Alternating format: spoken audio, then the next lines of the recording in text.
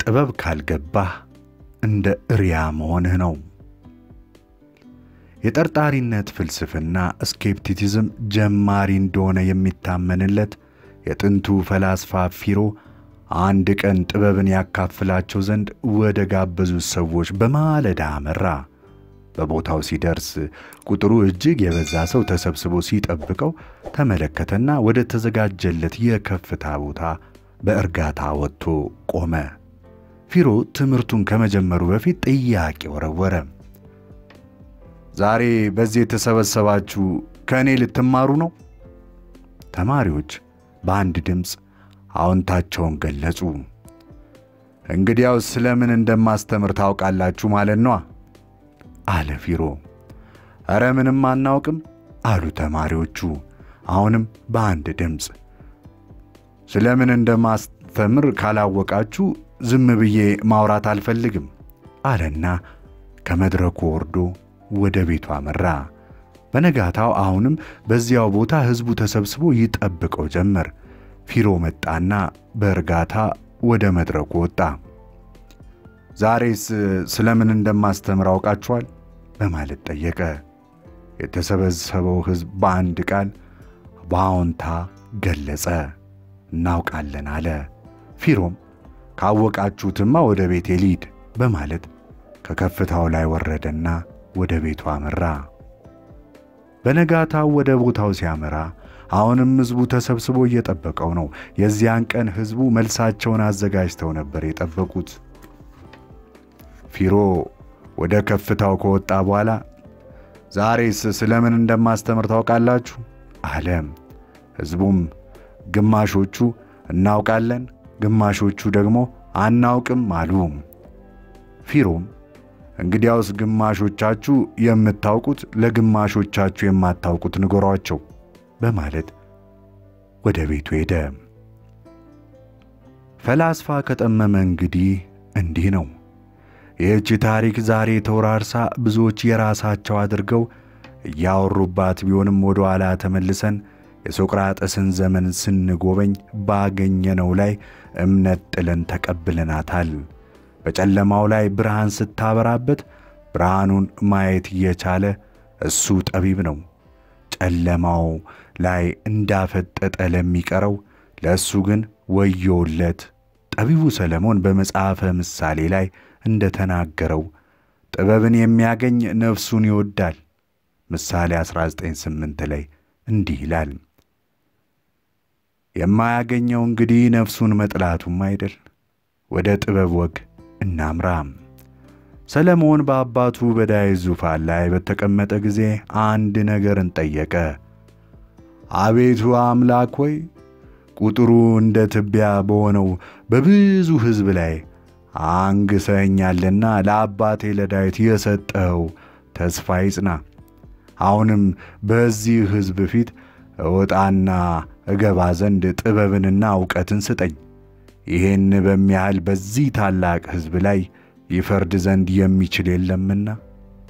አንደኛ ዜና ከአንድ ምዕራፍ አንድ ከዘጠኝ እስከ አስር እግዚአብሔርም በሰለሞን ጥያቄ ተደነቀ፣ ተደሰተም። የጠየቀውን ጥበብን ብቻም ሳይሆን ያልጠየቀውን ዕውቀትን፣ ክብርን፣ ባለጠግነትን ዘረገፈለት። በዚያ ያለ ልክ በተሰጠው ጥበብ ደግሞ ስለ ጥበብ ተናገረ። የወርቅ ቀለበት በእሪያ አፍንጫ እንደሆነ ከጥበብ የተለየች ቆንጆ ሴትም እንዲያ ናት አለ። የሰው ልጅ ጌጡ ጥበብ ነውና ለጠቢባን ዕውቀትን ያበዙ ዘንድ መናገር ተገቢ ነው። ጥበብ ካልገባህ ደግሞ እንደ እሪያ መሆንህ ነው። እንዲህ በቀልድ እያዋዛን ጥበብን እናስተምራለን። ጠቢብ እንዲህ አለ፣ በጨለማ ማየት እችላለሁ። የጠቢቡ አባባል ያልተረዳው ሰነፍ ደግሞ ጠየቀ፣ በጨለማ ማየት ከቻልክ ታዲያ ለምን መብራት ይዘህ ትሄዳለህ? ጠቢቡ ከሰነፍ የሚጠብቀው ጥያቄ ነውና ሳይደነቅ መለሰለት፣ እንዳንተ አይነቱ በጨለማ ማየት የማይችል መጥቶ እንዳይገጨኝ ብዬ ነው አለው። ጠቢብ መሆን ባይቻል የጠቢብ ብርሃንን ማየት ይቻላል። ለሰነፍ ጨለማ የጠቢብ ብርሃን መድኃኒቱ ነውና ትንሽን ጨምር። አንድ ገጠር ቀትር ላይ ረሃብ የጎዳው ጎልማሳ አንዲት ደረቅ ዳቦ በእጁ ይዞ የሚበላበትን ነገር ለመለመን በመንገድ ዳር ወደሚገኝ ምግብ ቤት ተጠግቶ ይቆማል።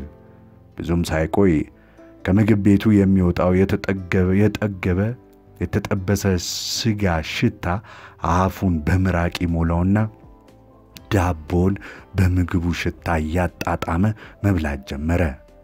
በዚህ መሃል ግን የምግብ ቤቱ ባለቤቶች ነገሩን ይረዳና ሲሮጥ መጥቶ የድሃውን አንገት አንቆ ያሸተተበትን እንዲከፍል ይወዘውዘው ጀመር። ድሃውም ምንም ገንዘብ በኪሱ እንደሌለ ይነግረውና እንዲለቀው ካልሆነም ወደ ዳኛ እንዲሄዱ ይጠይቀዋል። የምግብ ቤቱ ባለቤት ወደ ዳኛ ይዞት ይቀርባል። ዳኛው ነገሩን በሚገባ ካደመጠና ከመረመረ በኋላ ድሃው ያሸተተበትን ይከፍል ዘንድ ተገቢ ነው በማለት ፍርዱን ይሰጥና የምግብ ቤቱ ባለቤት ወደ እሱ እንዲጠጋ ያዘዋል። የምግብ ቤቱ ባለቤትም እንደታዘዘው ወደ ዳኛው ሲጠጋ ፈጠን ብሎ ከኪሱ ሳንቲም ያወጣና በጆሮ ላይ አቃጭሎ ድምፁን አሰምቶ ወደ ኪሱ ከተተው። እነሆ ለድሃው እኔ ከፍያለሁ፣ ወደ ቤታችሁ ሂዱ ብሎ አዘዘ። ግራ የተጋባው የምግብ ቤቱ ባለቤት ዳኛ ሆይ የሳንቲምን ድምፁን አሰማኝ እንጂ መች ሰጠኸኝ አለው። ዳኛውን መልሶ ድሃውም ምግቡን አሸተተው እንጂ መች በላው ሲል መለሰለት። ጥበብ ማብዛት ትርፉ ጭንቀት ነው ይላል ጠቢቡ። ጥበብ ሲበዛ የሰነፉ ጨለማ ያስጨንቅሃል። ካንተ ብርሃን ይልቅ የራሱ ጨለማ ደምቆ ይታየዋል። ኢየሱስ ክርስቶስን ፈሪሳውያን በሕግ ሊፈትኑት ተነሱ። ሕግ የሚያወራው ስለ እኔ ነው አለ። በነቢያት ትንቢት መጡበት። እሱም ቢሆን ስለ እኔ የተነገረ ነው አላቸው። በመጽሐፍት ተነሱበት። መጽሐፍት በሙሉ ስለ እኔ የሚያወሩት አላቸው። ሰቀሉት፣ ተፈጸመ አላቸው። የጨለማው ፍጻሜም የዚያን ቀን ሆነ። እንግዲህ ክርስቶስን የተከተሉት ብርሃን በራላቸው። እነሱ የበረራላቸው ደግሞ ክርስቲያን ተባሉ። ለምን ቢሉ ክርስቶስን ይመስላሉና። ጥበብን ለምኑ። ያለ ልክ የተዘረገፈለት ንጉሥ ሰለሞን ፊት ሁለት ጋለሞታዎች ቀረቡ። ንጉሥ ሆይ ልጇን ስለተኛችበት የዚህች ሴት ልጅ በሌሊት ሞተ። እሷም በእኩለ ሌሊት ተነስታ የእኔን ልጅ ሰረቀች፣ የሞተውንም ልጇን በእኔ ብብት አደረገች። ንጉሥ ሰለሞን ፍርድን ሰጠ። በሕይወት ያለውን ልጅ በሰይፍ እኩል አካፍሏቸው አለ። ልጇ የተሰረቀባት ፍርዱን ተቃወመች። ንጉሥ ሆይ አይገደል፣ ለእሱ አይሰጥልኝ አለች። ሌላዋ ደግሞ እንካፈለው አለች። ንጉሥ ሰለሞንም ልጅሽ ቢሆን ኖሮ እንካፈለው አትይም ነበር አላት።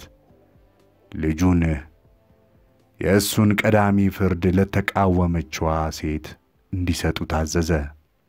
ኢየሱስ ደግሞ እንዲህ አለ፣ ከእናንተ ተጨንቆ በቁመቱ ላይ አንድ ክንድ መጨመር የሚችል ማን ነው? ስለ ልብስ ስለ ምን ትጨነቃላችሁ? የሜዳ አበቦች እንዴት እንዲያድጉ ልብ አድርጋችሁ ተመልከቱ። አይደክሙም፣ አይፈትሉም። ነገር ግን እላችኋለሁ ሰለሞን እንኳ በክብሩ ሁሉ ከእነዚህ እንደ አንዱ አልለበሰም። እግዚአብሔር ግን ዛሬ ያለውን ነገም ወደ እቶን የሚጣለውን የሜዳን ሳር እንዲህ የሚያለብሰው ከሆነ እናንተ እምነት የጎደላችሁ እናንተማ ይልቁን እንዴት ማን ይሆን? ቻናላችንን subscribe፣ like፣ comment፣ share ያድርጉ።